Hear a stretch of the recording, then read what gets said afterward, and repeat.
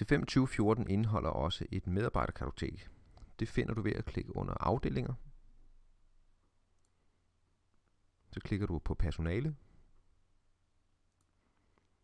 Og under lister klikker du på medarbejdere.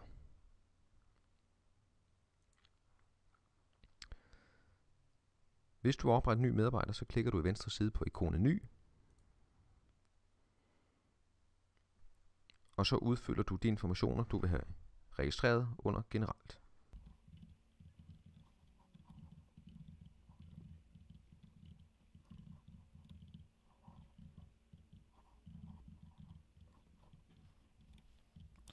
Under kommunikation kan du registrere lokalnummer, telefonnummer, e-mailadresser.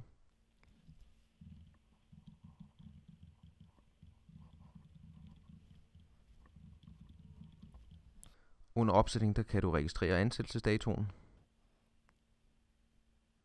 Under status kan du vælge, om det er en aktiv medarbejder, eller det er en medarbejder, der er inaktiv eller fratrådt. Endvidere har du mulighed for under personlige at tilføje fødselsdato og CPR-nummer, fagforeningskode og medlemsnummer.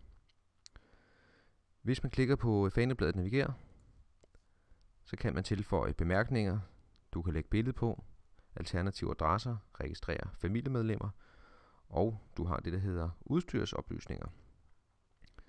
Her kan du altså registrere, hvis medarbejderen har fået en øh, firmabil,